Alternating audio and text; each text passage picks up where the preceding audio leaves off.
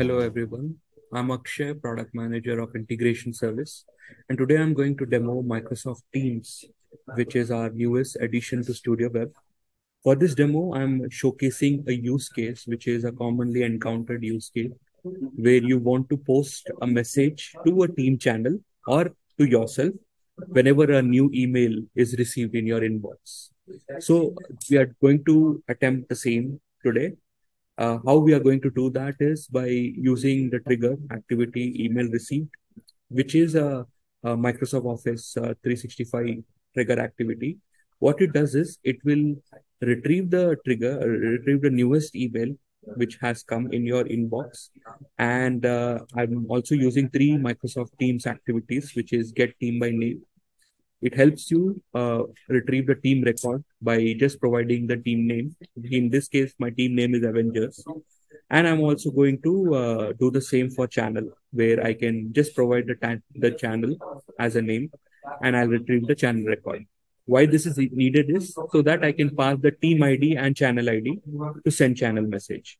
So in this case, I will be able to uh, uh, uh, select a particular channel and I'm also going to send the body preview, which is the preview content of my email, which I have just received.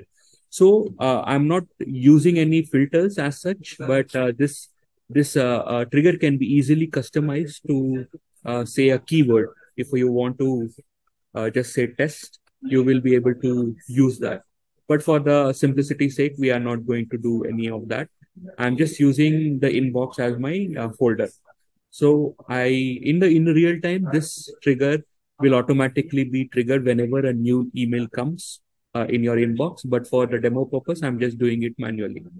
So what now will happen is whatever the latest email I have received in my inbox, I should get a message sent to my channel. So uh, it is running. I'm using my demo account and yes, as you can see, I have received my uh, uh, the, the, the, the latest email from my Outlook inbox.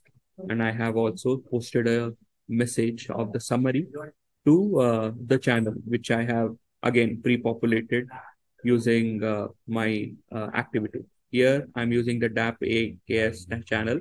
So if you see in this channel, I have just received a message, which is 125, that is now.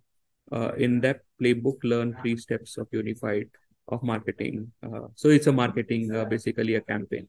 So I'm just going to go to UiPath here and uh, yes, yeah, yeah, this is the one. So this email, I have retrieved the summary. If you want to retrieve the entire uh, uh, message also, that's possible.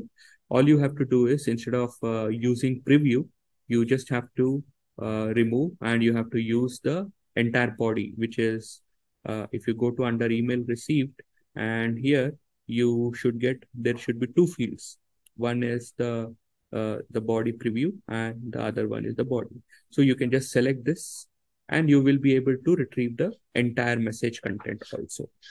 So as you can see, it's now uh, pretty simple to integrate uh, Microsoft Teams with any of the applications which you already have in Studio Web. And you will be able to now collaborate in a more effective way. Thanks for your patience.